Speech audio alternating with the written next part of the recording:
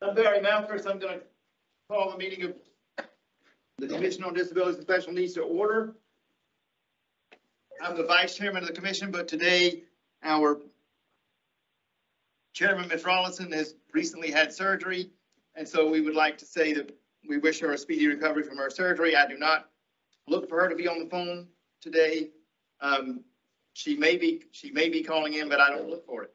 So, um, if she does, we'll stop and let her on and then we'll, we'll start back. But that having been said, um,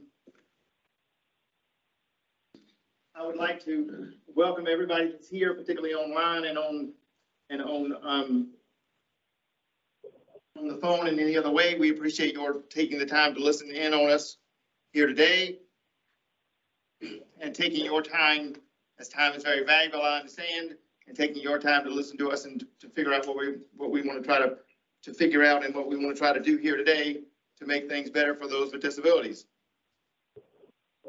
Next, if I could, I will, um, we have a number of visitors that appears me here today. I can just say I'll welcome the, those that are with the staff. I know most of them that are in here right now, but I don't know the guests. So if you don't mind, starting on the left, if you're a guest with us here today, would you stand and introduce yourself? On the left.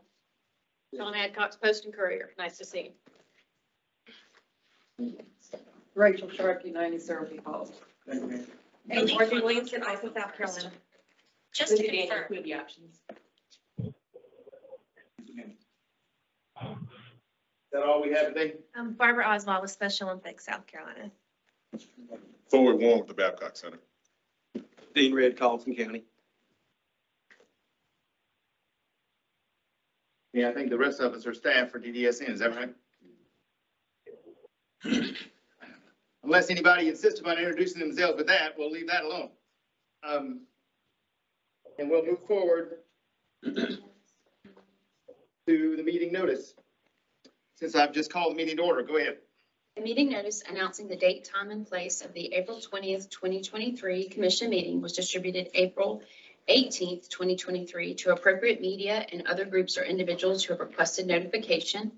The announcement and agenda were posted at the Department of Disabilities and Special Needs Central Administrative Office and on the website. In accordance with Americans with Disabilities Act, the public has been notified that accommodations such as interpreters, mobility assistance, and other assistance will be provided to individuals with disabilities and special needs if requested in advance. I should have said that just, just before, that we will have a um, thirty minutes, right after this meeting is over, thirty minutes after this meeting is over, we'll have um, a hearing regarding the agency's regulations, which I'll talk more about at the end. But the next item on the agenda is to adopt the agenda for today. So if there's, if there's no deletions or additions to the agenda, can I get a motion that it be adopted? As written. Second, We have a so move in a, in a second. yes. Any further discussion? Hearing none, those in favor? Aye. Aye. Motion carries. Next item on the agenda is the invocation, which will be given today by Mr. Ed Miller, and I'd appreciate it if you remember Ms. Rawlinson in your prayer, sir, please. Let us pray. Father in heaven, we come again on the needs of those that are disability and have ailments that we have been tasked to guide, direct, and help them with a better life. Bless our chairman Rawlinson. Touch her with a mighty hand. Give her the fullness of life again, that she can walk, run, and exercise.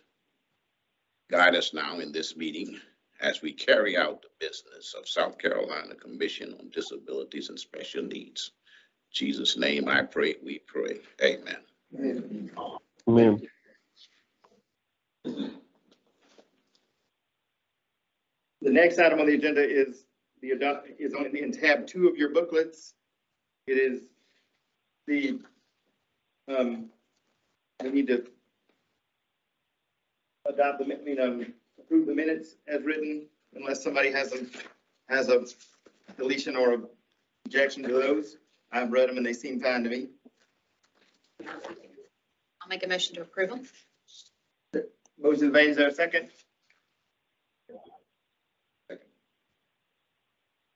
Motion made, second, is there further discussion? Hearing none, those in favor? Aye. Those opposed, motion carries. Next item on the agenda is the commission update, commissioners update. Mr. Kocher, you want to go first for us, sir?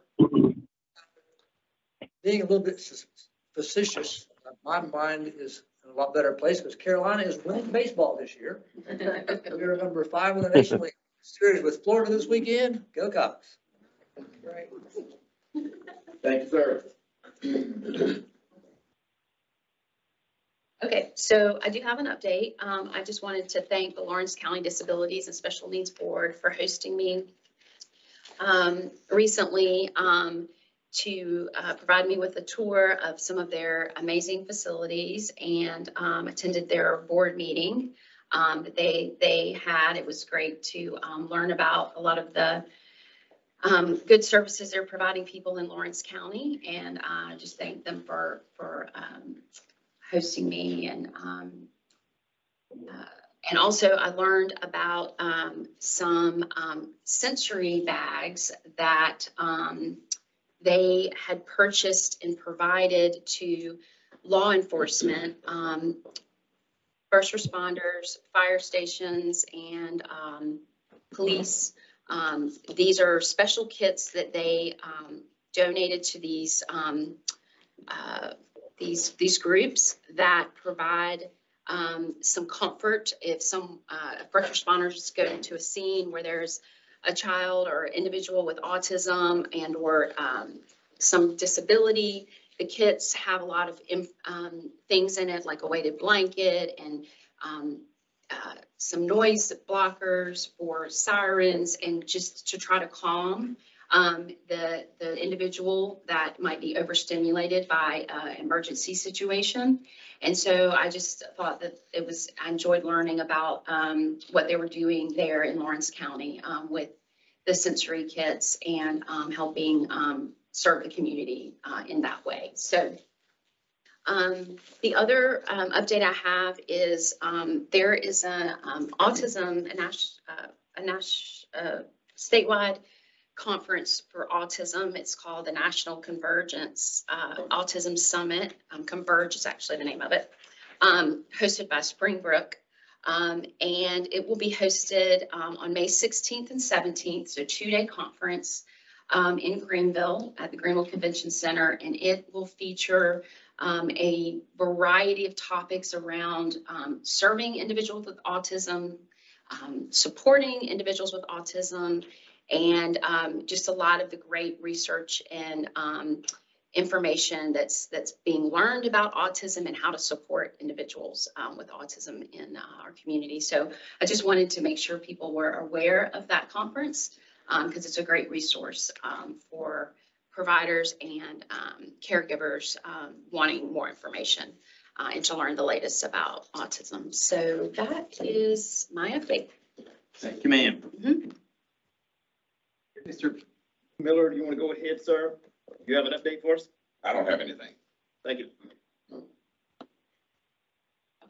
Go ahead, Ms. Michelle. I do have a couple updates. Um, I attended the um, Collegiate National um, Wheelchair Tennis Nationals in Orlando, Florida at the USTA um, um, National Campus. And um, it's the only one event of the year where uh, the wheelchair tennis gets together for all the colleges. They have established programs. Um, there's nine universities in the United States. They have established programs, and there's five emerging emerging universities. So that's like 14. Um, a lot of room for growth, out of considering how many colleges and universities we have. But um, it was great to see all the athletes. Um, it was a five-day event, And so it was fun to see all the college um, kids um, compete. So that just happened uh, last week. Um, And then I also, and then obviously we had Clemson, so we do have a, a South Carolina school attending, so that was great. I also attended a leisure, a leisure skill clinic um, um, held by uh, Back to Independence. They're right on the border of North Carolina and South Carolina. And it's a kind of like an expo fair where they, um, they cater to those with disabilities for neurotherapy. And they went through the different things that they do, um, the wellness, nutrition. And we also, um, walked through different recreational equipment, um, activities that they're provided at the place. Um, so it was a, it was a fun event and they had a lot of, um, adaptive equipment that on display, um, for everyone to try out. And that was a pretty cool event to, to attend. Thank you, ma'am. Very interesting update you have. David, uh, uh, Mr. Uh, Mr. Davis, did have you- an update sir?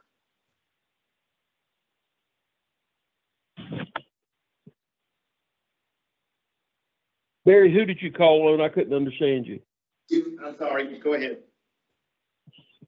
Hi, yeah, yeah, this is David Thomas. Uh, I'm by phone, so I can't, uh, I can't, uh, uh, see, uh, if, if you're pointing at me or whatever. I have no update. I will have some legislative update later on, but that'll come to, uh, and, and staff will be presenting on that. Thank you, sir. Well, then I guess I'm the last one. I just wanted to say, my only update is that what I should have given last month, which was the dis, which was, I attended the Dis- Disability Day about a month and a half ago at the State House, and that was a very interesting, it's an, the primary one is an annual event that they have each year, and it was a very, very well-done event, and I was very thankful to be a part of it. And, um, the commission has been in, has been represented there for the last several years. Um, three or four years, I think, is about, is about all the time we've been represented there for the last three years, if I'm not mistaken, maybe four. Participated, yeah. Well, we, well, yeah, actually participated, yes, which we should have been doing for a long time, but we are now. So we're, um, thankful to be a part of that, and I was thankful to be a part of it. I just wanted to mention that. So anybody that hasn't ever been to that should try to, that is interested in those with disabilities should try to go. It's a very interesting thing. So aside from that, I will move forward with the next item on our agenda, which would have been public input, but we don't have any. And so, um, and by, by the way, of course, we encourage those who would like to have, to, to, to come here or, and or to be over the phone that would like to speak to the commission to please do so. Um, our policy says you have three minutes to speak if you would like to. Um, but you obviously signed up before the meeting and we didn't have anybody sign up this month. So maybe next month for anybody that's interested would, would, um, we'd be happy to have you. The, and with that, the next item on the agenda is, to me is Autism Awareness Month, which is, I think Miss Stephanie Turner is going to come up and give us a couple of minutes on that. Thank you, ma'am. Good morning, good morning. As the Autism Division Director, I come before you today to bring attention to April as Autism Awareness and Acceptance Month. As we know, autism is a developmental disability that can cause changes in verbal and nonverbal communication, social interaction, and repetitive behaviors. And it's often accompanied by medical and mental health conditions that impact their quality of life. As children with autism become adolescents and young adults, they may have difficulties developing and maintaining friendships, communicating with peers and adults, or understanding what behaviors are expected in school and on the job. The CDC recently updated the prevalence of autism to one in 36. And autism occurs in all racial, ethnic, and socioeconomic groups. It is more than four times more common among boys than girls. As the state agency that plans, develops, oversees, and funds services for South Carolinians diagnosed with autism, we work closely with individuals on the spectrum in a variety of ways. This includes supporting individuals with autism who live at our regional centers, employing individuals with disabilities, including those with autism, providing helpful resources to individuals and their families, and alerting them of various opportunities. Throughout April, DDSN participated in various events across the state in observance of Autism Awareness Month. From the works various organizations do in the community to the interactions individuals with autism may have with law enforcement or other authority figures, we want those with an autism diagnosis to experience the same positive experiences we enjoy. Thank you for your time. Thank you very much, ma'am. Quick and concise presentation. Um, The next item on the agenda is our, it relates to programs and services, and we have two other presentations um, here this morning for that. One of them is United Cerebral Palsy, which we've been looking for for some months, and we've, and, and they are here today, so we're thankful for that. And also, we have, um, we have one from, from DHEC, the Division of Children and Youth, which we will get to. But first, in tab, well, it would have been tab three, but I guess it'd be three and a half because we have a presentation here on our desk, since we didn't know that until the last moment that- that we had some, some, some presentation material from her. We'll have uh, Ms. Rachel Sharp to come up from United Cerebral Palsy, who's the executive director. Recently, I believe, the new executive director for United Cerebral Palsy. Thank you, ma'am. Thank you. Thank you, everyone, for allowing us to be here today. Um, um, Hopefully, it won't take up too much of your time, but hopefully you'll have a little bit more information about who we are and what we do. So the mission of, of United Cerebral Palsy of South Carolina is to positively support and impact the achievement of a life without limits for people with disabilities. We work to ensure that people reach their fullest potential and that they are part of the lives of their community. Um, We offer person-centered programs and supports uniquely tailored to each person's needs and desires. So a little bit about our history. Um, in South Carolina, we started in two thousand three offering residential services in four homes and one apartment. Um, our day program opened in two thousand thirteen. Uh, we currently provide direct support services to eighty-eight people in our residential program. Um, we're a five oh one C three nonprofit organization. And we are a charter affiliate of the National United Cerebral Palsy Organization. We provide services in um, five counties currently, uh, Lexington, Richland, Greenville, Sumter, and Clarendon. Our main office and our day program is located in West Columbia. So the services that we provide currently are adult day support and community living support, which includes apartments, homes, host homes or CTH ones, and community homes. Our funding is through the Medicaid waiver and also through donations. So we have special fundraising events throughout the year. Um, we have private contributions and we also have some grant funding.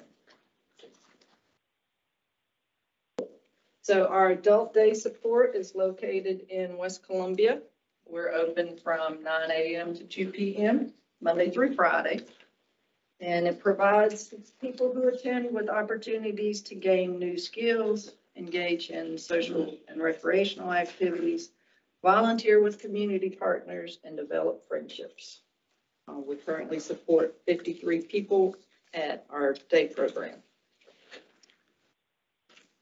Um, one of the things that we try to do at the day program is also have community outreach with other community partners and volunteers. Uh, we participate in Meals on Wheels.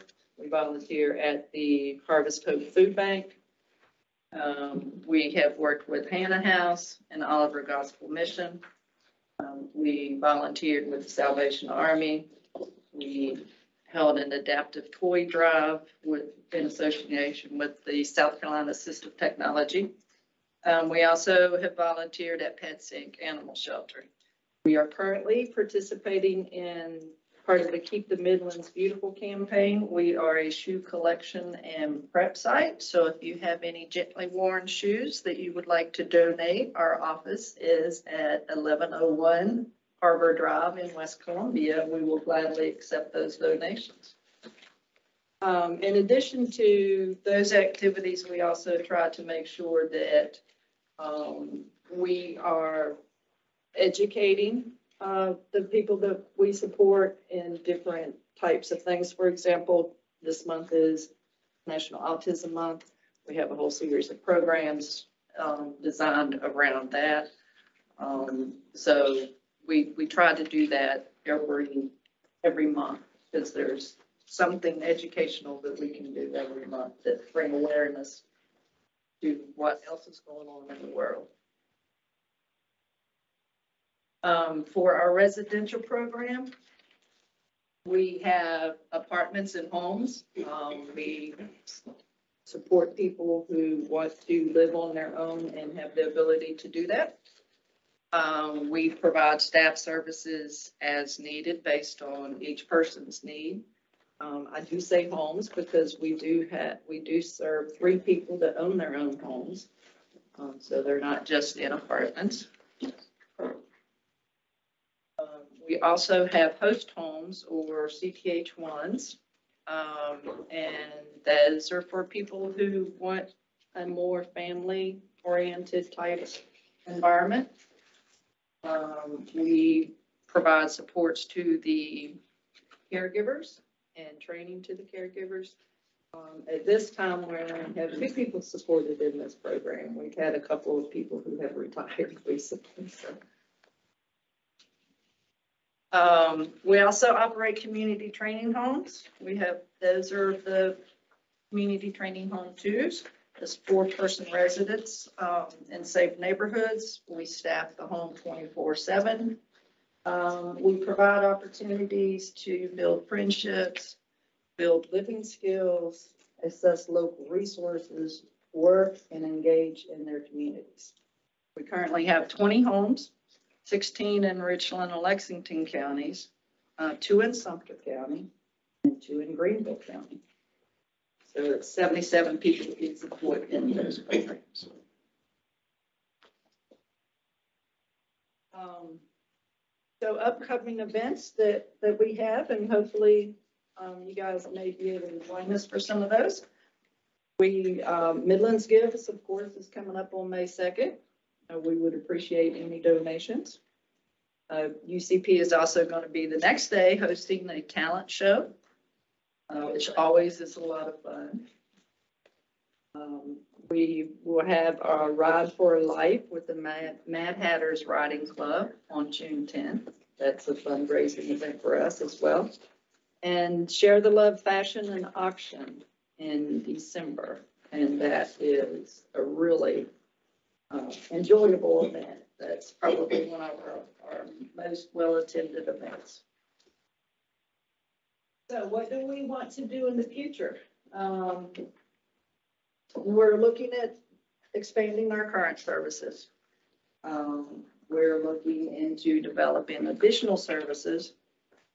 Uh, we're going to be incorporating technology to improve the supports that we provide. Um, we're working very hard on workforce stabilization and development. Um, without that stable workforce, it's going to be very difficult to us, for us to accomplish our other goals.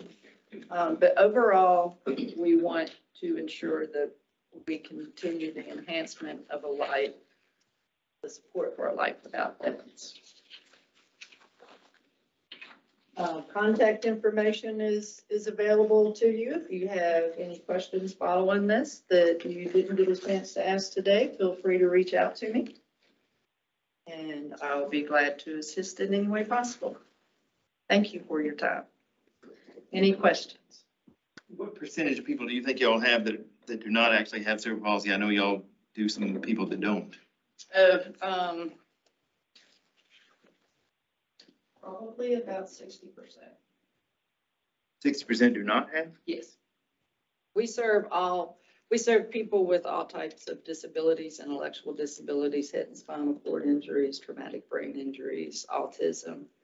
Um, So our name is a little bit misleading, which we recognize, but we do provide supports to all people with disabilities. So What you're, I'm sorry. I was just gonna ask you, um, your DDSN provider? Yes. Okay, because I say you re- Medicaid waiver, but I just wanted to make sure that, yeah, okay.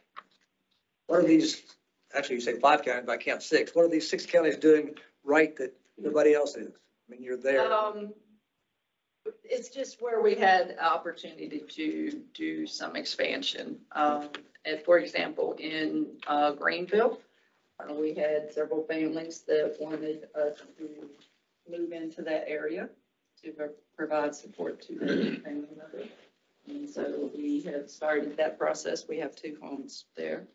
Um, the Richland and Lexington was where we initially started. Um, and then we also have two homes in Sumter area. You get any support from local government at all? No. Like this. What other counties are you concentrating on that have a high rate? And why, uh, you're not, I noticed, uh, you're in about five counties. Um, we're, we're looking for good areas to expand into the, that not only need our services, but also will have the workforce to allow that to. And so, um, we're kind of in the preliminary stages of, of looking at different areas to expand. in. What counties are you looking at currently that, that's not on this listing?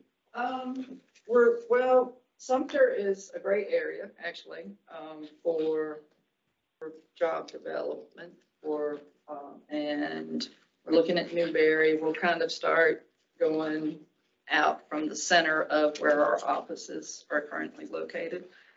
Um, and also places where we're not gonna have to heavily compete with other providers or, um, manufacturing companies and things like that, because it becomes very difficult to attract and retain quality staff whenever our wages are not comparable to the manufacturing components. You know what your annual budget is?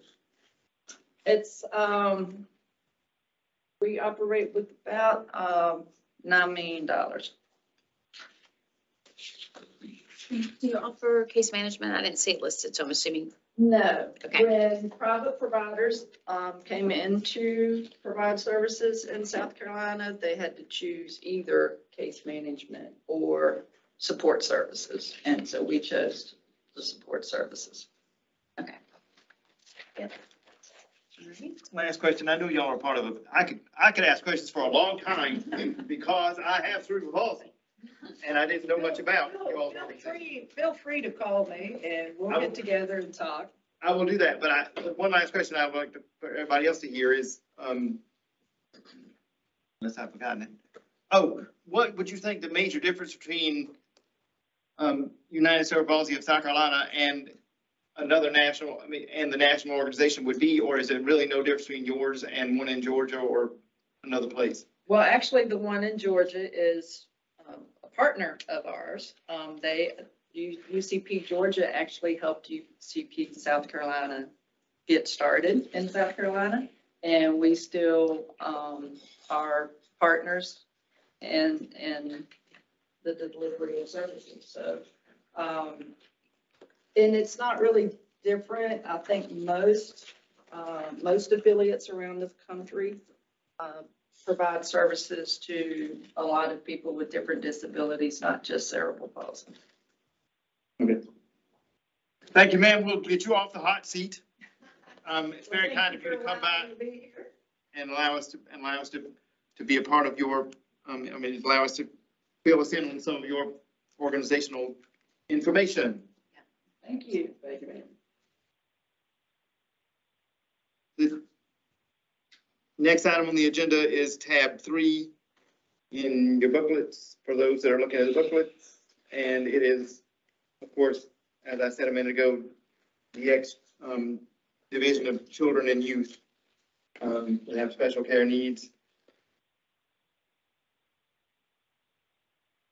So go right ahead, Ms. Correct. Ms. Shannon Grant. Here? I am here. Good morning. Thank you for um, inviting me and allowing me your time today to present. Um, So in front of you, you can see our um, front page of our flyer. It just kind of gives an overview of our program. Um, But children and youth with special health care needs, even though I'm speaking out of Greenville, we have offices um, throughout the state. Um, we are within DHEC, um, and so we do cover four specific regions. I'm currently representing the upstate region, um, which covers 11 different counties. Um, children with special Children and youth with special health care needs is federally funded under the Title V program, so that's how we get our funding. Um, and we do serve children between the ages of birth to 21 if they have certain qualifying diagnoses. Um, we can provide within some of our programs lifetime assistance for, for select programs. Um, but our primary role is to provide care coordination to families and children, um, as well as funding assistance for needed services and supplies. Um, and then in the past few years, we've really made a push for transition services and talking with families about what to expect um, as their child ages as far as their healthcare needs are concerned.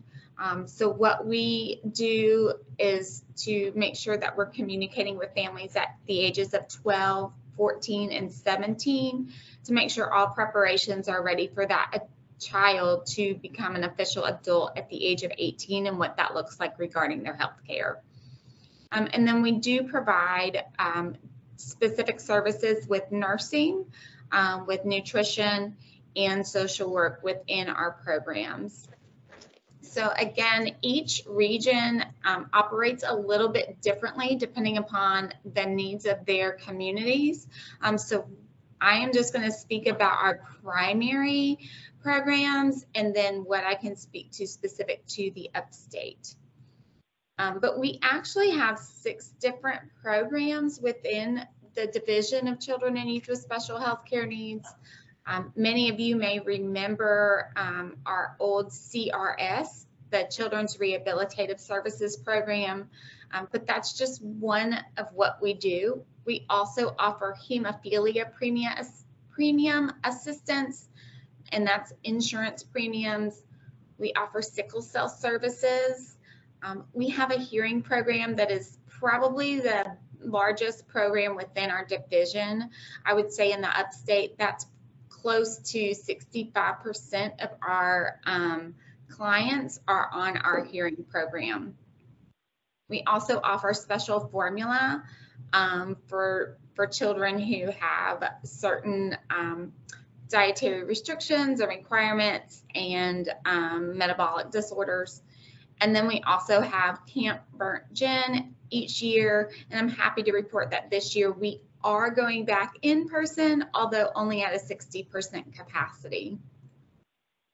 Um, so for our children and youth with special health care needs, our big thing is that um, we provide financial services for families who one, in our hearing program, it's primarily um, families who have Medicaid because Medicaid does not pay for hearing supplies, hearing aids for children. So that is why we have such a large population. Um, but the other part is we do provide financial services for families up to 250% um, of the federal poverty level. So in order to qualify for Medicaid services, um, that's 208% of the federal poverty level.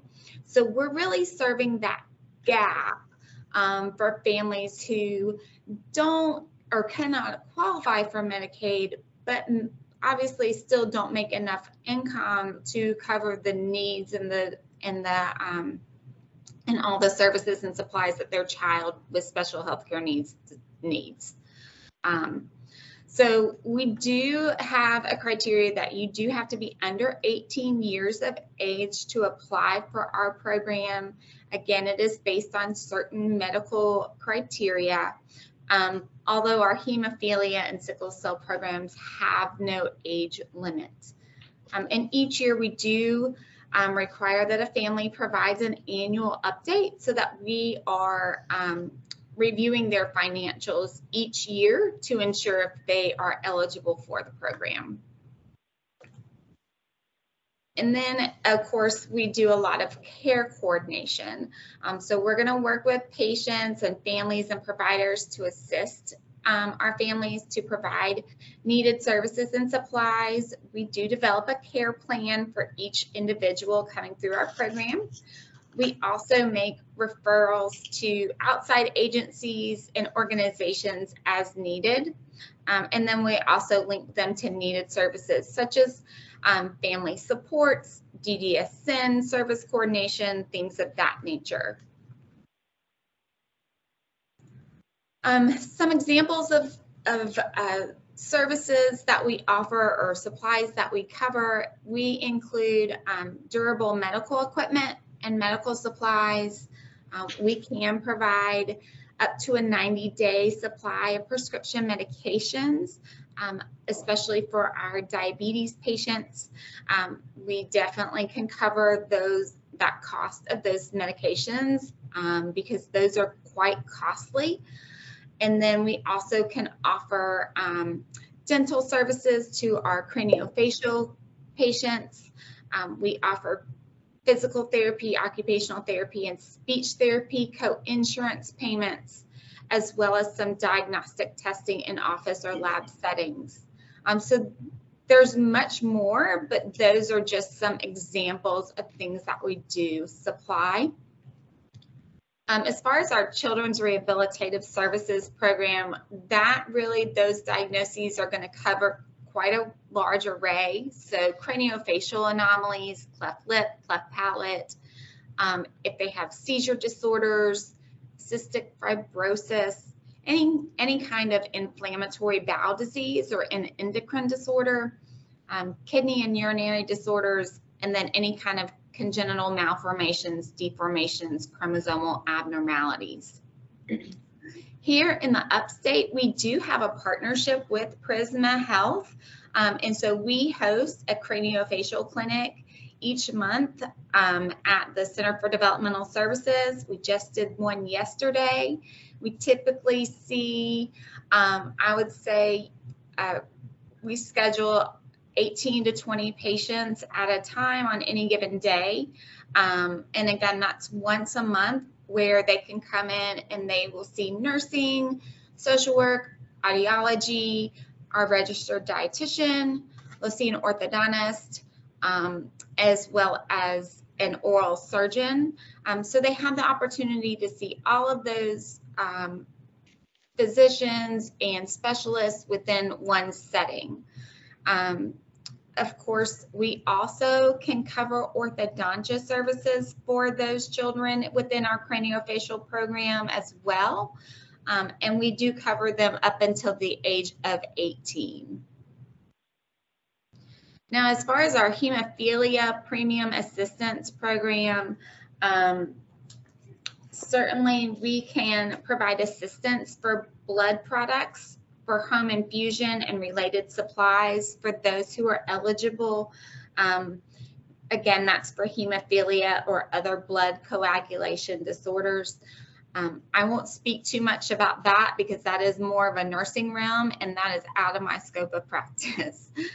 um, but we do also offer sickle cell services.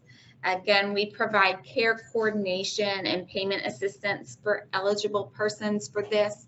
We also do a sickle cell tracking and surveillance um, for newborns based on their newborn here newborn screenings. So if they do show that they have that sickle cell trait or sickle cell, we will provide that surveillance and care coordination at least for the first two years of life. Um, and then, like I said, our hearing program, that is our largest by far. We do provide hearing devices for those with a diagnosed hearing loss. Um, so that could include hearing aids, um, but we also can include cochlear implants and bone anchored hearing aids. We also um, provide services and supplies related to their hearing aid batteries, and we can also offer repairs if the manufacturing warranty has expired. Um, for our clients that are on Medicaid, we can provide these services up to the age of 21. Um, and then beyond 21, they can receive these services as long as they have a waiver. And then our special formula, um, again, we provide specialty formula for infants and children who have nutritional conditions that affect their normal growth and development. These um, preparations must be prescribed by a physician and our registered dietitian does go over those preparations. Um, our registered dietitian will do a nutritional assessment at least every six months with our families. Um, and we can order up to a three month supply of that special formula at a time. Um, so that is quite costly, um, especially for, um, I would say, some of our families that they have um, kiddos with um, uh, cerebral palsy. Uh, I know that she gets uh, probably upwards of fourteen, fifteen thousand dollars worth of formula every three months for her children. Um, so it is a great service that we can provide. Um, I will say that if a family is on WIC, WIC does provide those formulas up until that fifth birthday. Um, so that's within their program. And then we cover those formulas beyond their fifth birthday once they exit off of WIC. And then we also do um, follow up for newborn screenings. Like I said, we've, we've added um, Pompe disease, we have spinal muscular atrophy, we do first sound referrals and follow up. So if a child fails their newborn hearing screen in the hospital and they don't keep that follow up appointment with an ENT, um, then we get those referrals and we try to follow up with the families um, to make sure that those children are being screened and can confirm if they truly have a hearing loss or if they've passed that newborn screen. And then lastly, we'll talk about Camp Burnt Gin. Um, this is one of our most popular programs, I would say, within our, our um, clients. Uh, they do enjoy going down to camp. Due to COVID, it was um, online for a few years, but we are now back in person. Um, and again, we are at a 60% um, capacity this year, but I know that those children and those families are so excited to have that true camp experience available to them again. So again, that's just a little bit about our program um, here within DHEC. Uh, again, I'll be happy to answer any questions that you have specifically, um, but I may defer to our um, representative in Columbia, who's Anna Bleasdale, um, for follow-up if need be. Anybody have any questions? In real numbers, what is the uh, two hundred and eight uh, percent federal poverty level versus the two hundred and fifty? I don't know the numbers. Sure, no problem. So I will just say for a family of four, we'll use that statistic. Um, right now, if that family of four makes 57, 720, um, that's that's eligible for for Medicaid. So that's the 208% federal poverty level. The 250% federal poverty level for a family, that same family is 69,375. So that's a big gap. Um, and the other difference, which I didn't mention, is that Medicaid goes based on gross income. I mean, no, they go, yeah, they go up based on gross income. We go based on net income. So that adds a little extra, especially for those families who are self-employed. many cochlear implants do you do a year? Any idea? I do not. Um, I know that most of that funding comes out of our Columbia office, our, um, and so Anna Bleasdale would have that information. Did you say that Medicaid does not sponsor hearing problems? They do not pay for the hearing aids, no.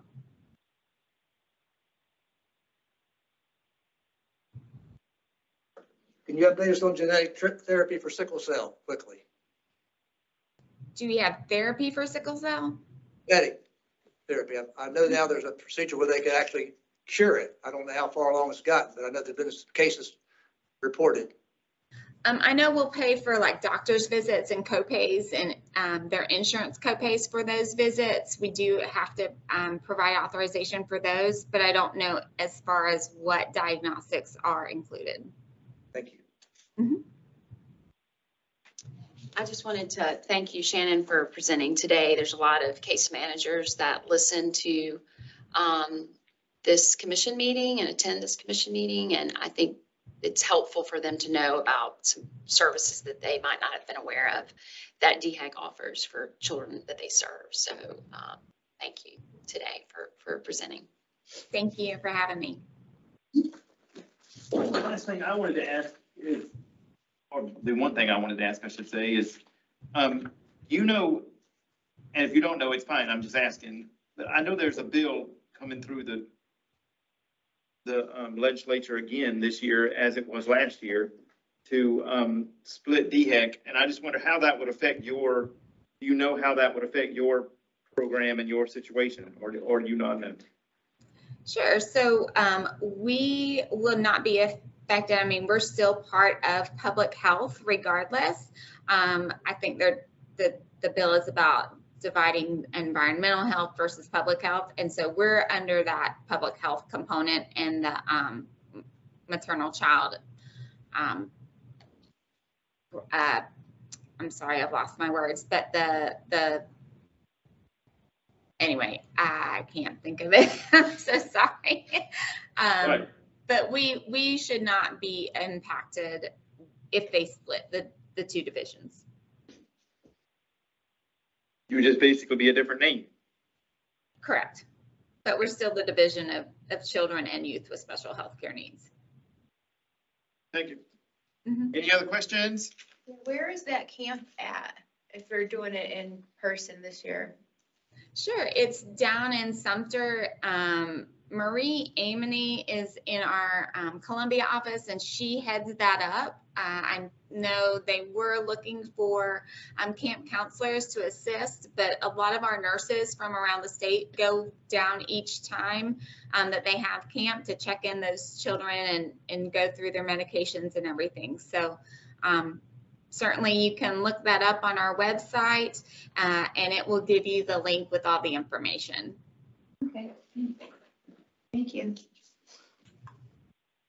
Any other questions? If not, thank you very much, ma'am. We're gonna move forward. The next item is technically old business, which can also be called in Robert's Rules of Order unfinished business, by the way. Just, it sounds a little, sounds a little different, a little better to me, but, um, so you understand where we are. But the next item on that set of business is our legislative update, which Mr. Rob McBur- Bur- McBurney will be giving us today. I know his name as well as I'm sitting here and still fumble through it, but I'm sorry about that, Rob, but go ahead. Good morning, good morning. Um, just want to give you a quick legislative update. Uh, we are, we're, we're past the crossover deadline, so we're, we're, we're, we're moving towards the end of the legislative session. Um, and just wanted to give you a, an update on bills that we're, we're tracking. Um, S, uh, three forty-three, uh, that is the bill that would allow uh, agencies other than Department of Mental Health and really anybody other than the Department of Mental Health to, you know, hospitals, things like that, to operate crisis stabilization facilities. Um, that is something that, um, that, that a lot of, a lot of folks are interested in.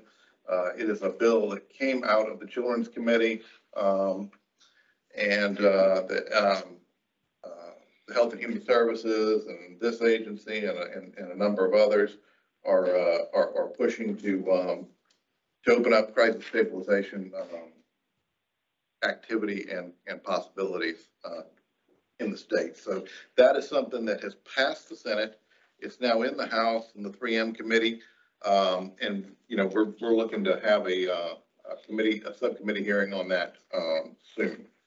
Uh, they have a couple of bills that they're dealing with that were fairly large, um, this week, but, uh, hopefully, you know, knock on wood, we'll, you know, we'll be on the next agenda, hopefully for that, um, uh, for this bill. So that, that'll move it, you know, you know, probably another week or so to get it through the full committee and onto the, uh, floor of the House. And then that would, um, uh, hopefully, if there's no changes, then we can, uh, we can get that, uh, that bill done uh, fairly quickly before the end of the session. Uh, another, the big item that, uh, that everybody was watching this week is the, uh, the Senate took up the, the, budget on the floor. Um, Senate Finance Committee, did a lot of the work and there was a lot, there was not a lot of work done on the Senate floor, which, um, you know, is uh, unusual. It took them, took them, uh, not very long to get through the budget.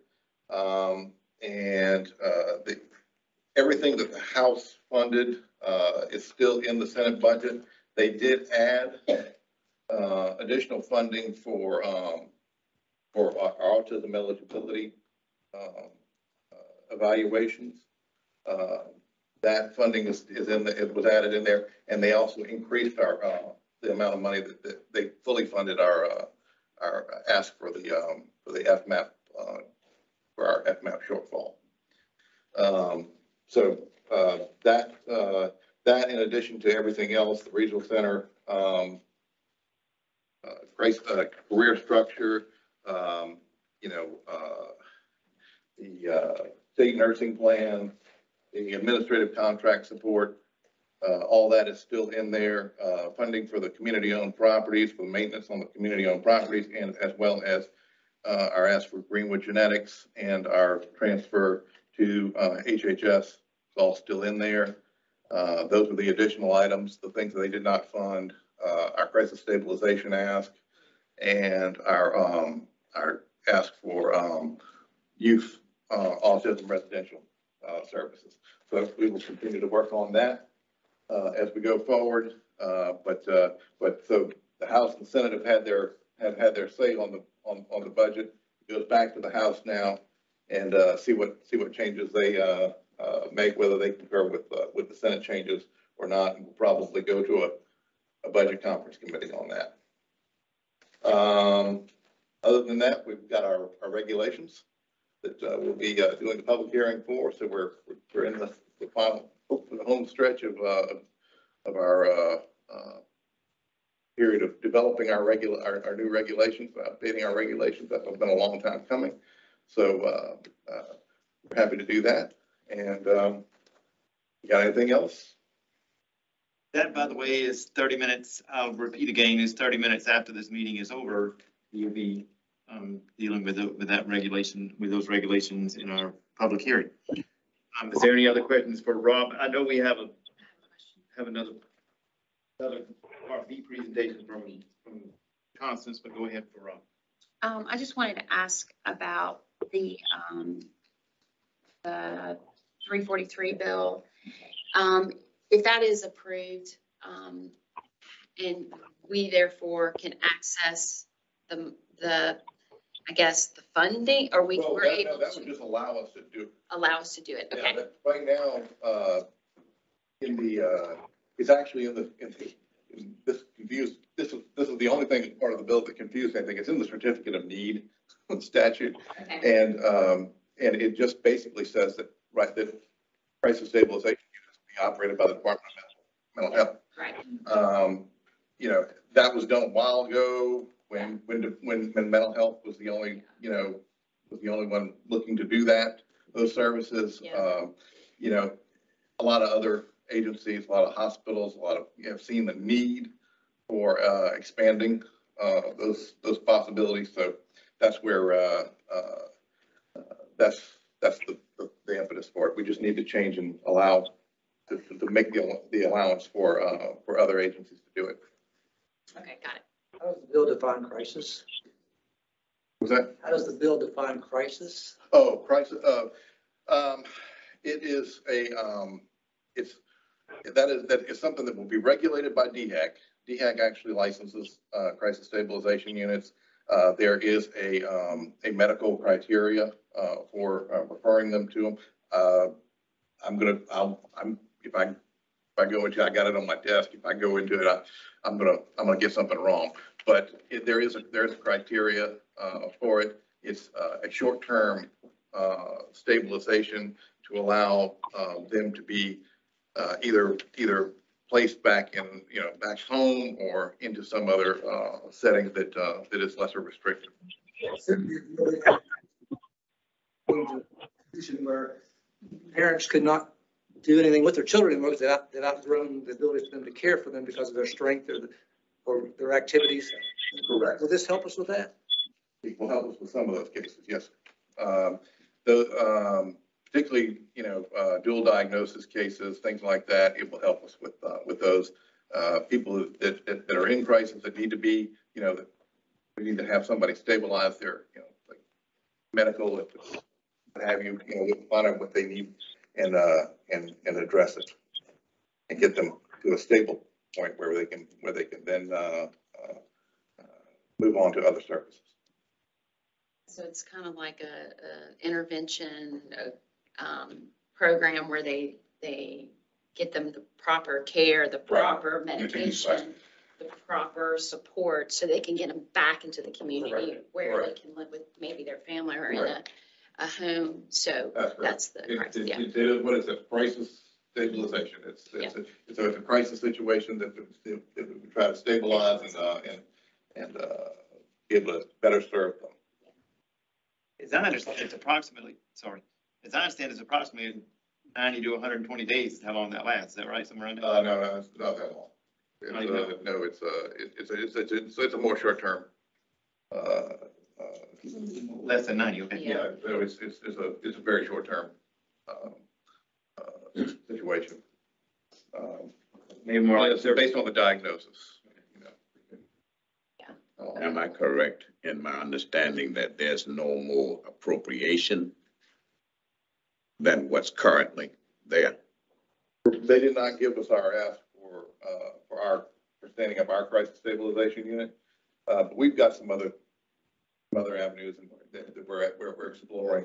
Um, HHS is, has, is, uh, in the process of budgeting money for hospitals to do crisis stabilization.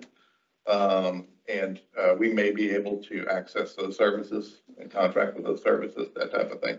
So it, there's, there, there are, there are other avenues that we can go down. We, you know, eh, we'd like to be able to fully fund and fully stand up with, you know, uh, what we asked for in the budget, but, uh, but, you know, there's other ways to do it. Any other questions for Mr. McBurney before we go to part B of our legislative update? Hearing none, thank you, Mr. McBurney. Thank you. So I'm gonna briefly give an update on the Senate Bill six oh two as it's currently written. Senate Bill six oh two was passed by the Senate, um, and then introduced into the House and referred to the Judiciary Committee on April fourth, um, of this year. The bill has currently structured, has six sections. Um, the first section being to amend, um, the code to provide that South Carolina Department of Disabilities will be headed by a director who is appointed by and serves at the pleasure of the governor. Section two, um, also references the director and talks about the director's qualifications for the position. It also adds a definition of autism spectrum disorder. Section three, four, five, and section three, four, five are only the sections that move. Currently, BSN is in Title forty-four, health. Um, there's a proposal in the current structure of the bill to take us from Title forty-four, which is health, to Title forty-three, which is social services. And then section six just says that the entire act takes effect on the governor. Um, the bill, as I previously stated, the bill is currently in the House Judiciary Committee. Um, they had some other subcommittee hearings this week, but did not take this bill up. Thank you, ma'am. Um, the next item on the agenda is tab four, is on tab four, which is conflict-free case management update from Ms. Lori Manis. Thank you, ma'am. Good morning. Um, so I'm here to give you an update on our transition to conflict-free case management. As you guys will recall, um, we have been working towards a federal requirement of having all case management in the DDSN system conflict-free. What that means in our transition framework is that an individual does not receive case management and direct service from the same provider, right? So we started this transition back in July of 2020. There's very specific criteria. I included it in your packet um, about the percentage of cases that needed to be transitioned to conflict-free by specific dates. So we completed phase three, um, which is the phase before the final phase, um, in December of 22. Um, that requirement was that we be 50% transitioned. We were actually 70.4% transitioned. So as of then, we have 29.6% of cases that are still being transitioned to conflict-free. Um, I included a map in your um, packet also that will show you kind of the counties where there are still a lot of cases in conflict.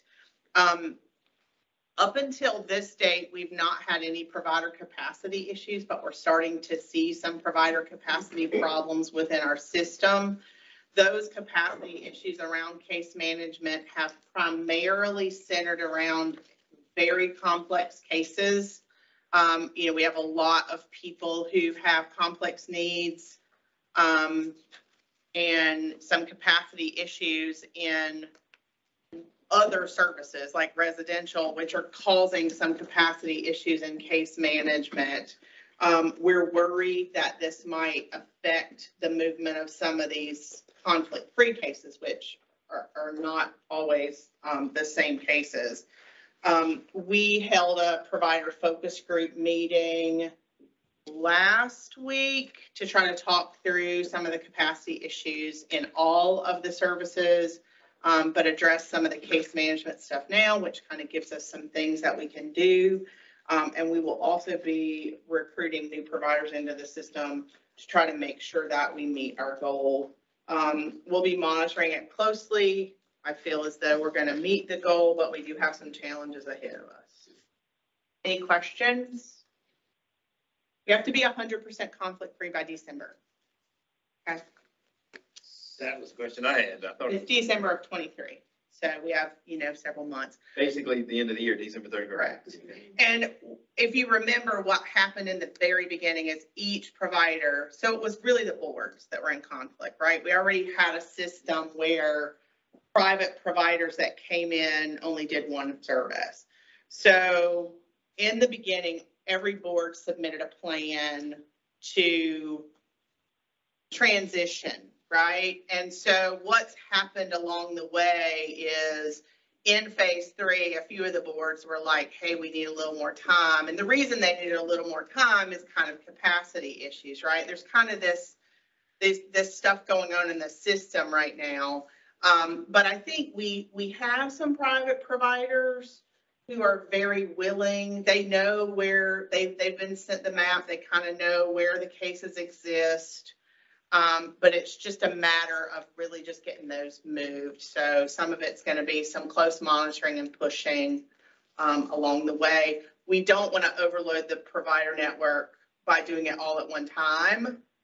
Um, so some of the places that have larger numbers, we're going to try to work with them to move, you know, some, some slowly. Um, have we been able to bring in new providers in the last year or two to address this at all?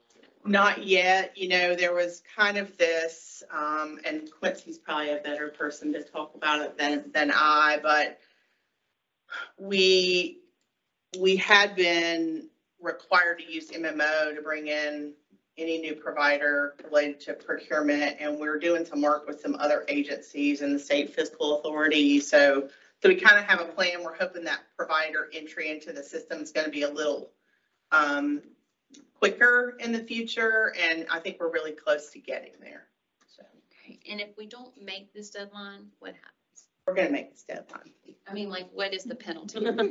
We're, we're all, we, I, I, I'm not sure, but I, we're gonna make the deadline. Okay, just check. So, yeah, we're, we're gonna meet it. I, um, again, we're still ahead of schedule, remember that, Yeah, I right? just was curious. So we, I have every intention of not having to address what happens if we don't.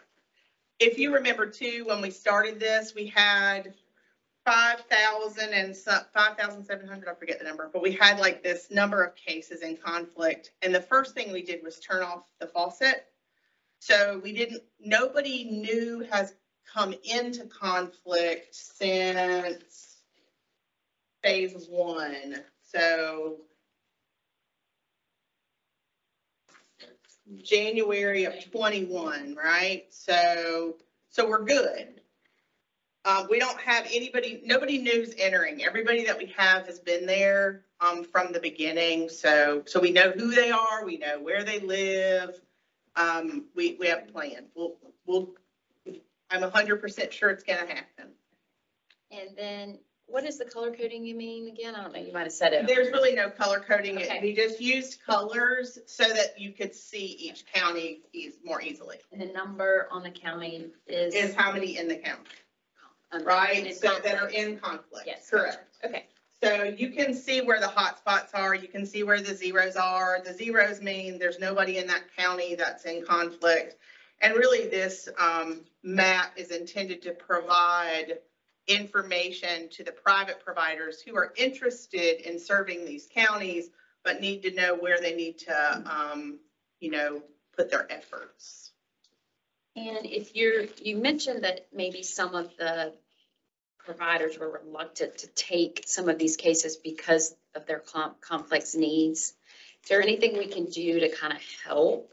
So far, That- so far, the issues that we've seen are not these cases. They're cases that are coming through our office be- and have complex needs, right? So we've not seen capacity issues where somebody from a county needs to be be deconflicted.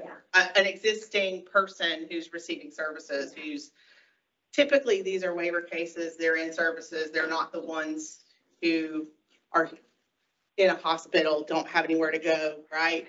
So, so those are the ones we're seeing capacity issues on, but I worry that because we have so many of those in the system, that, you know, it could affect this, which is why I brought it up. Okay, gotcha. So these are not complex needs. Yes, these are people who are already, so they're receiving residential or day services from a board and also getting case management from the board. So they need to be moved to a, they, they need to get one or the other from somewhere else. Usually what we see is people choose to receive the direct service from the person who's been providing it and they're going to move case managers. there is some reluctance to some of the families, right? Because especially when you start talking about people who um, are in more of the, the rural counties where case managers have been there for a really, really long time. And maybe they know their grandma or their aunt or their uncle. And they don't understand the concept of, I gotta leave my case manager who I've known forever and I really don't want to federally, the concept is the case manager authorizes and monitors the service. You wouldn't want the case manager monitoring their self, you know, the same provider. Let's say there's an issue when we both work for the same person. It's hard to address the issue. So that's the federal mandate and why it's there. You, you understand it. I'm just saying from a family's perspective, sometimes so some of these are families that are really just waiting till the last minute. They don't want to leave this, they don't want to leave their case management, Makes sense. right? Change is hard, Sure. especially for Sure. individual with disabilities. Change is really hard, especially when it's a good thing. So, that as of, the two, one, twenty-three, there's seventeen hundred and two cases. My quick map, math on the maps, about a thousand, so seven hundred and two miss. I don't understand quite the difference here. Yeah, there shouldn't be any different, so I'm not sure. I can check the math.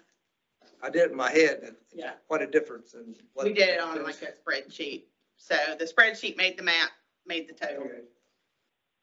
All right. But the map is uh, very good.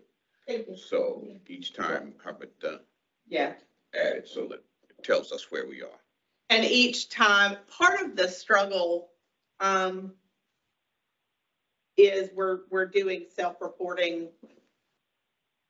A long story, but there's kind of this one service that shows in the system that it's receiving from the board that maybe it's not. So we kind of had to start with actual, like manual work. And all of the updates are manual work, so sometimes the updates are a little bit. I'm just glad it's Barry's jurisdiction that's doing the work. Thank you. Is there any other questions for Ms. Manus today? I like the map too. Go ahead. You have two? No, I like the map too. It- Oh, the map, yeah, the map was a good thing. Um, it really is. I'm not surprised you can come up with such a good idea. So I, I have to be fully transparent. When my folks did this map, her name is Janice Moore. If anybody wants to Aw. say, say good work, it was really her. I just take credit for it. No, I'm just kidding. Thumbs up. All right, thanks, guys. Thanks, ma'am. The next item on the agenda is our new business section, which is section five of in your packets, and it is the annual comprehensive property implementation plan, which basically is our five-year plan for requests for approval of projects that we are working on. And if I see him getting up, I wouldn't have had to look at the name. This is Andrew Thorne is going to give us the presentation on that situation as he normally does each year at this time. Uh, Yeah, thank you for the quick introduction there. And just to kind of recap, I'm uh, here presenting the five-year um, capital permanent improvement plan, better known as the CPIP plan, um, for approval to the commission here today. Uh, Another quick recap on what this is. It's a, it's a five-year plan. Every state agency every year is required to submit a five-year capital improvement plan to the Capital Budget Office with the Department of Administration. Um, And typically, we're here in May, but we're here a month early this year, so we're ready to kind of get some of these things rolling. Um, the plan consists of high priority capital improvement projects over hundred thousand dollars. Um, and the way to look at the five-year list are, year one plans are things that we're, we're ready to jump right into. Um, year two plans or year two, uh, projects are, are things that probably are just outside of that list. And, uh, years three through five, you're probably gonna see a lot of, a lot of movement there, um, over the years as things cycle forward. Um, in January every year, we start meeting with, um, regional center staff, facility administrators, uh, maintenance staff, uh, financial department to check on the money. Um, we, we meet with executive staff, let them know what we're up to. Um, we look at previous year's plan. Uh, we've got a lot of historical data on our buildings. We kind of put everything on the table, um, open it up for discussion and eventually hammer out this, this five-year plan, uh, that we're presenting to you guys today. Um, some, uh, notable highlights on this plan. Um, at a proposed forty-three million dollars over five years, it's significantly larger than, than plans from the past. Uh, to put that in perspective, when I took over the engineering director position in August of two thousand nineteen, the plan that was sitting on my desk that had just been approved was thirteen million dollars over five years. Uh, this plan spends almost that much in the first year, so it's a, um, significantly larger than the previous plans. Not that we have more needs, but we're putting a lot more paper. We're gonna take a run at it, try to get it done, so. Um, another, uh, highlight from this plan is that it covers all major outstanding roofing projects, um, that we've kind of got sitting out there. Um, the agency has about two hundred capital assets that we're responsible for. Of those, uh, about hundred and sixty of them are actually buildings that people, you know, live and work in. Um, of those, uh, sixty-four of them have a roof that's with an estimated, uh, construction cost of over hundred thousand dollars. So if you assume, you know, a roof's gonna get you about twenty years, you should see about three to four roofs every year on this plan. And this plan gets us back on that track. Um, so we're starting to address some of those needs. And we've got a lot more money going towards bathroom renovations that are, that are well needed at some of the regional centers. So those are just some big takeaways from this plan. Um, along with the five-year plan, we're also seeking approval to, to go ahead and, uh, move forward with, uh, the year one projects on the plan. And we kind of detail that out a little bit more in the handout on each plan. That's a quick rundown of it. Question, how many of the items under year one plan were in last year's plan? Most of those, most of those plans, uh, or most of those projects were year two last year, so things generally cycle up. So I don't believe any of these were in, in year one last year, so They were probably in year two or. that's correct, yeah. Okay, gotcha. Makes sense.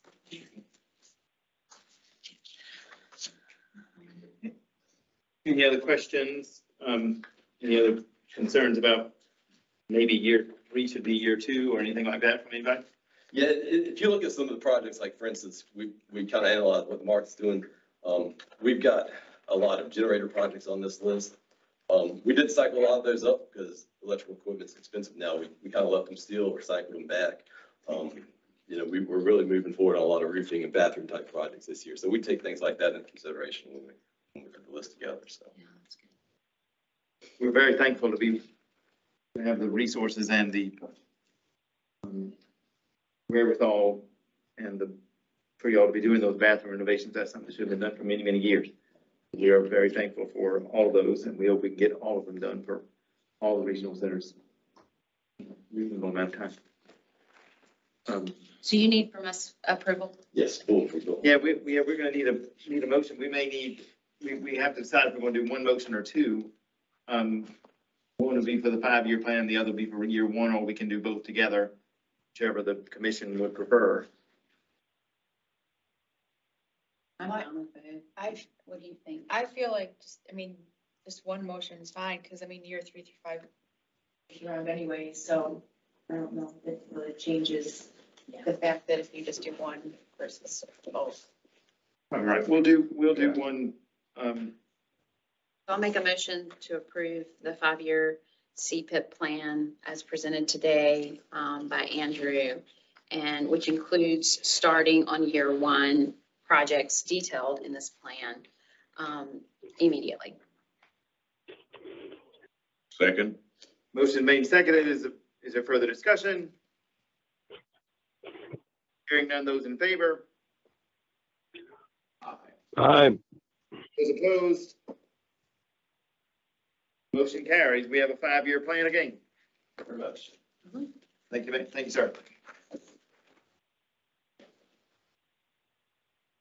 The next item on the agenda is our financial update from Mr. Quincy Squire. Good morning. Who is our CFO and financial expert and all those sorts of things, who came over from, from HHS, and we're happy to have him. How long ago did you come over, might I ask, or do I remember? Been eight months. Eight months. Feels like eight years. Does that seem like a long eight months or a short one? This next question. Depends on the day. Depends on- Okay. he's still smiling, so. So, uh, I'll jump right in under tab six. Uh, you'll see the year-to-date performance of the adopted fiscal year twenty-three spending plan in the amount of nine hundred and thirty-nine million. But through March, the agency has spent approximately two hundred and fifty million in cash, in agency cash. And the direct fee-for-service Medicaid billing expenditures through March were approximately four hundred and ninety-two million. So today, the agency is currently on target with agency cash projections. And, but we're over, uh, by four point zero six percent uh, on the HHS fee for service side. Um, The variance, that variance is going to continue to increase for the remainder of the fiscal year, mainly due to the spending plan not having uh, those rate increases that came in January uh, built into it for those uh, home and community-based services.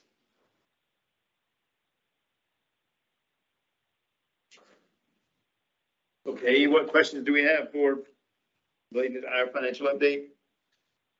We have any?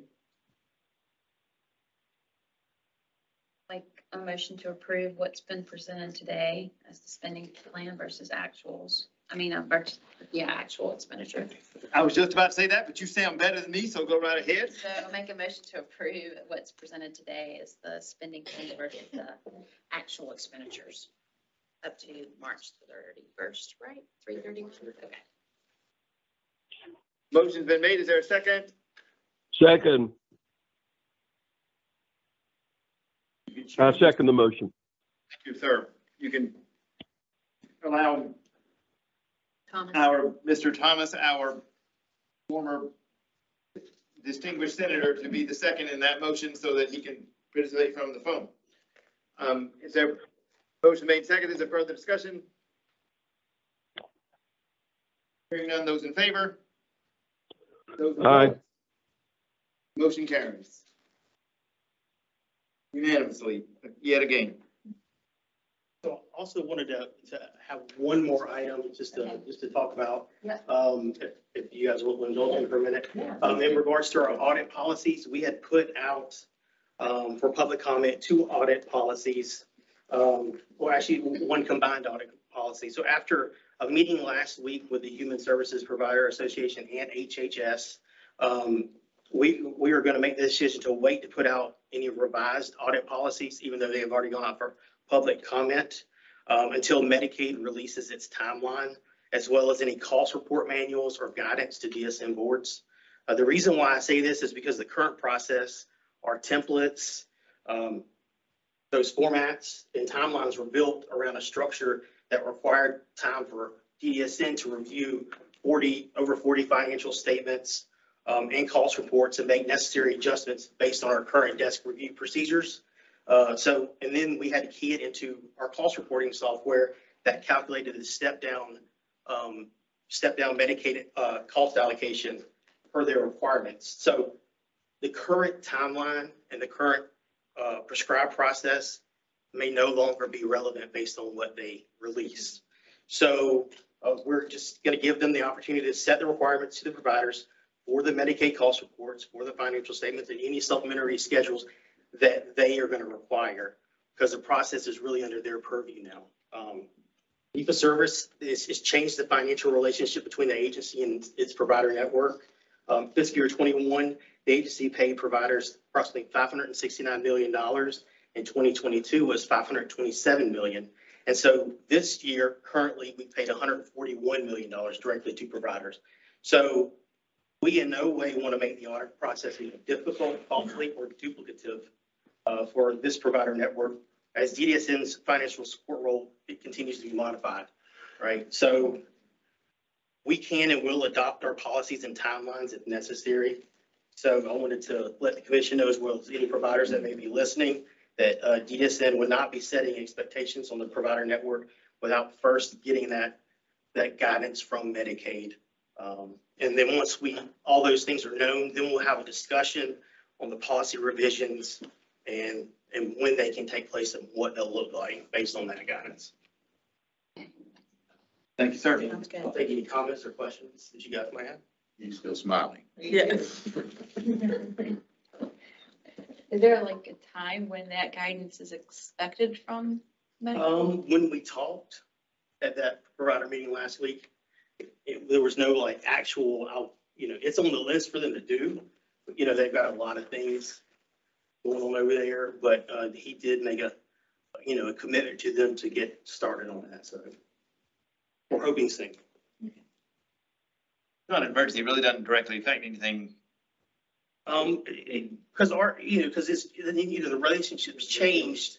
You know, we're really gonna be more responsible for like the room and board calculations, which, you know, providers don't really need until January, you know, to be able to present to the DSN board, so, um, or, you know, December or January, so our timelines are different now, you know, what we need as, at DDSN, so.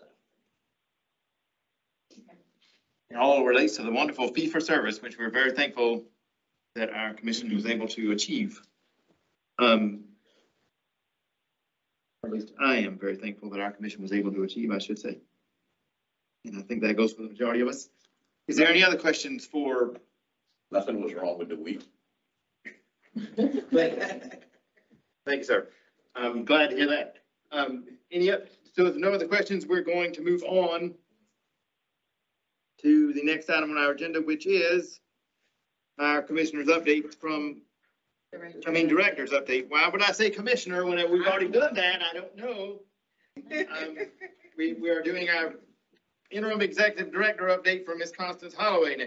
And I'll be very brief. I think you tried to give me a promotion up to commissioner. You think it's a promotion to be one of us? Well, God bless you. Um, I'll be very brief. Um, so to begin with, I like to continue the trend of spotlighting long-term, term staffers who have reached significant milestones within our agency. This month, I have the pleasure of highlighting Elisa Best, who works at Sali- Saleeby Center. Um, Elisa is celebrating thirty-five years with DDSN. Um, Elisa started as a DSP at Pee Dee Center for three years, and then she transferred to the Saleeby Center in Hartsville in nineteen ninety-one to work in the adult habilitation department as a teacher. She's been there ever since and is per- presently working as the adult habilitation supervisor at Saleeby Center. Um, Elisa says that she's, she has enjoyed working with DDSN to make a difference in the lives of the people we serve. And we are certainly to have, we are certainly happy to have her as part of our team. Um, next, I'd like to delve into some agency updates, um, as well as some fun and exciting things we're currently doing at DDSN. Our employment and day services program have been major contributors when it comes to employment efforts. Through their work, DDSN was able to sponsor Vic Gable, a subject matter expert in successful employment strategies. Vic trained our provider network on service delivery, employment strategies, and various other mechanisms to increase employment. Additionally, our day services staffers have been traveling across the state to participate in transition fairs where they provide helpful employment resources to students, um, so students with disabilities can find jobs once they graduate high school. In other areas in the agency, the eli- eligibility division continues to handle a high volume of cases, processing about eight hundred cases per month. Additionally, the division has expanded the screening process so they can better serve applicants and has started streamlining services for those on the autism spectrum following face-to-face assessments. Um, as you're aware, to, this month is Autism Awareness Month. Um, hence why I dug in my closet this morning and found the blue, because I was instructed to wear blue. And I thought I had tons of blue, Stephanie, but this, this was a hard task. Um, Ready next year. I'll be ready next year. We're in blue on selected days and rec, um, Autism Awareness Month, we have, uh, been highlighting through internal news, uh, letters. We're in blue on selected days and recommended various movies and TED Talks to walk, uh, watch. Eventually, we will, we have and will continue participating in community events and also have conducted interviews with media outlets. I wanna, um, we have been really conscious about sending out all the articles that, uh, and interviews that Stephanie has participated in. I wanna, you're not on my script, but I'm going off script because that's what I do. Um, I want to highlight Stephanie. Stephanie has been doing an amazing job. She has been going out to local police departments, um, and helping them, giving them different type of training, and she's been highlighted by several different media news outlets, um, in the last couple months. Um, I, I had the pleasure of working with Stephanie briefly when I was over at DHHS, um, and we've been excited about how she's come in, um, and doing great work in regards to autism. Um, so your hard work doesn't go unnoticed. I know sometimes we get it a little crazy here and people think they're not noticing all the great things I'm doing, but it's been noticed and it's Thank you. greatly appreciated. Thank you. Um, next, I'd like to briefly mention some of the exciting things we're doing at our regional centers. Um, at Coastal Security Gate project has been completed and our consumers and staff are now safer with that addition. Also, Coastal and its parents group had a garage sale last weekend. Um, communications invited media. We got a very nice story from the Post and Courier promoting that event. Um, elsewhere, our centers continue serving as strong community partners.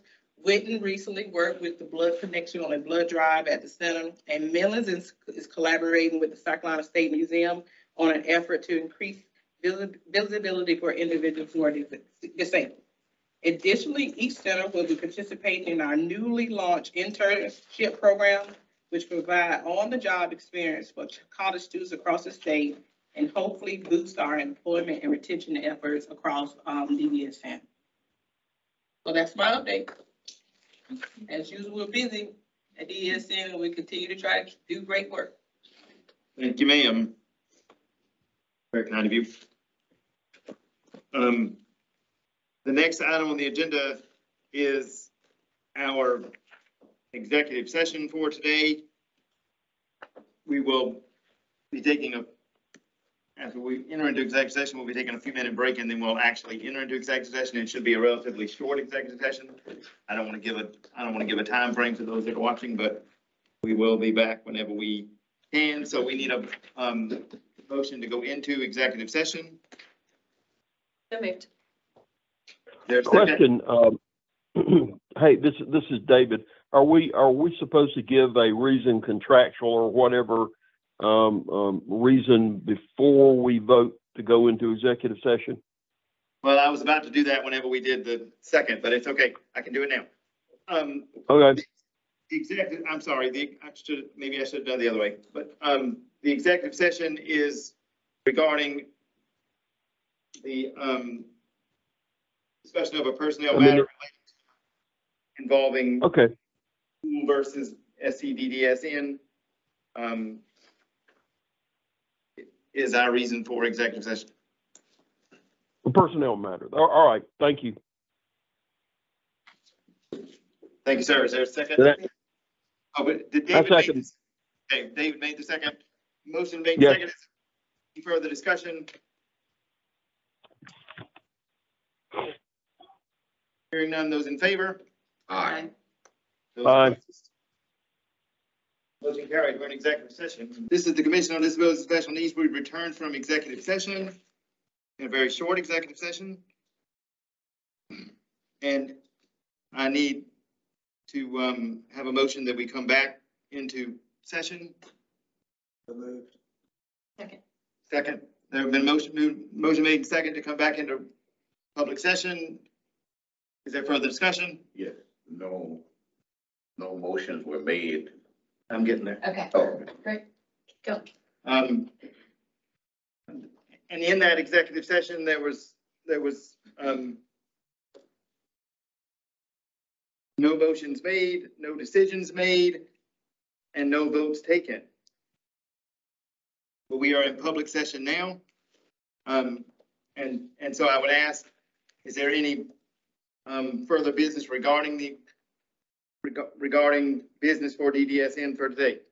Yes, I'd like to make a motion um, to withdraw Mary Pool's March 2nd, 2021 termination letter.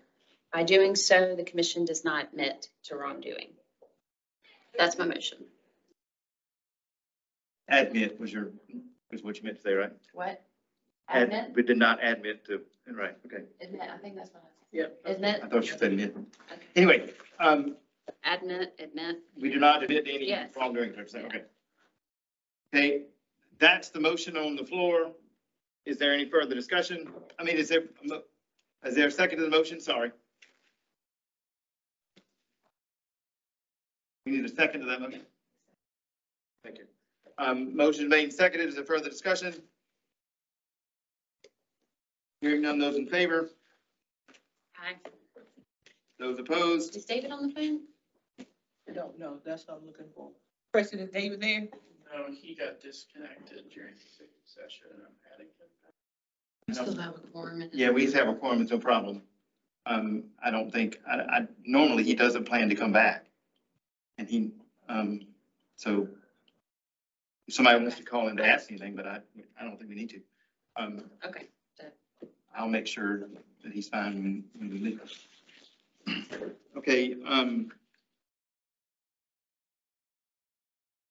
That motion is passed, obviously. Is there any, is there any, um, further business to come before the commission today? Make a motion to adjourn. Unless you have an announcement about the public hearing that you need. to- Yes, I do. I was gonna get to that. Um, Okay. sorry.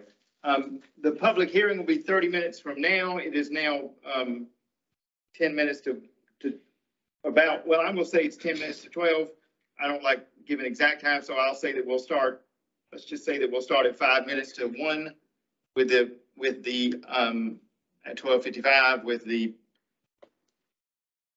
um, Regulations. with the regulations, um, Right now it's eleven fifty-five. So it'll be twelve, Thirty. twelve twenty-five. When am I, why am I saying that? Sorry, it's twelve twenty-five, we will start, um, with with the Regulation. regulations, um, hearing, is what I'm trying to say, which will be in here and should be, and should be relatively short. Um, considering that we have no presentations that we know of. Um, and with that, the next meeting of the commission is next regular meeting on May eighteenth at ten AM. Um, we don't know at this time whether we'll have committee meetings or not. We're hoping to, we're hoping to resume those either in May or in June. We certainly will resume them in June. If we do not resume them, resume them in May, we will see. Um, it depends on business and what the commission feels is necessary. Business that comes before the commission and what business we, we see is necessary. Now I need a motion to adjourn if there's no further business. I'm sorry, Commissioner Mallon, before we adjourn, I want to make sure the record's clear in regards to the motion. Because I think we kind of got, Okay. we started looking for David. Um, Yeah, we did. There was a, their motion was made by Commissioner Blackwood. Yes. A motion was seconded by Commissioner Woodhead. Woodhead. Um, and then we went, started looking for David. Did we take a vote? Yeah, we did. Yeah, we said those in favor. I just wanted to make sure. I started looking for David and got sidetracked. Yeah, no, it's good. Okay. It's good. We, We, I, I, we can do it again. Um, let's just make sure on the record it's clear that who voted and how they voted. Okay, no problem. We will, do well, but that's a, that's a problem because we gotta wait a minute. Because he just went out the room, but we will, we will vote by individual member, no problem. I have no problem with that at all. Did you get Commissioner Thomas back? Trying to get him back, because we're gonna vote by individual member. While we're waiting for that, may I bring up something else? We're having a public input meeting after this, Yes, sir. and they have to sign up to, to input. They had to sign up before this. Have any, has anybody signed up? We initially had one, um, group sign up yesterday around, what, Rob, three thirty? We got an email from that group saying they no longer wish it to speak at the public hearing, but they're gonna, they're gonna present some written comments. And from those written comments, staff is gonna meet with them. We're gonna sit down and meet with that group. So why are we having a meeting if we have nobody signed up? We're required to by statute. Same question I asked, um, Commissioner Kocher. I didn't, don't like wasting time. You don't have to be here for it. You're not required. Hey, Commissioner Thomas, I got you back on the record. So, um, and Commissioner Miller's, we're back in open session. Um, the motion was made by Commissioner Blackwood in regards to, um, the, uh, Mary Pool versus DDSN case. And I'll have Commissioner Blackwood just repeat the motion. yeah, we're gonna start over since you weren't on the, on the, on the, in the room when we, uh, we read it the first time. So I am making a motion to, uh, withdraw Mary Pool's March second, twenty twenty-one termination letter. By doing so, the commission does not admit to wrongdoing is the motion. We need a, we need a second for that motion. I'll second it.